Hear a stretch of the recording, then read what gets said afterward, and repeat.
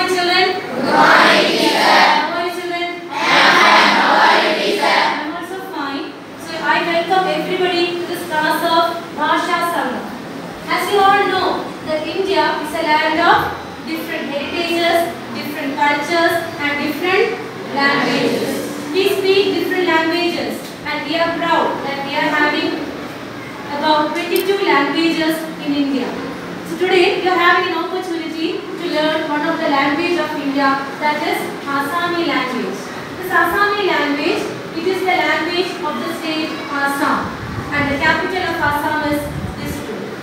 So I will be telling you some of the sentences in English and then in Assami and you repeat those sentences after me in Assami. In English, whenever we see a person, we say hello.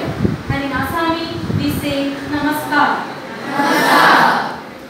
In English, we ask, what is your name? And in Assami, we ask, Apano Nam Ki.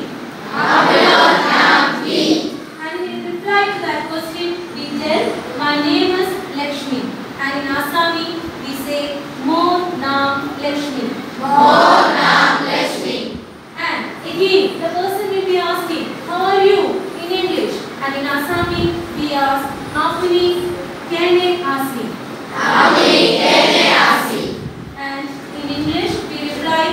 And in Assami, we just say, Moi Bale Asu.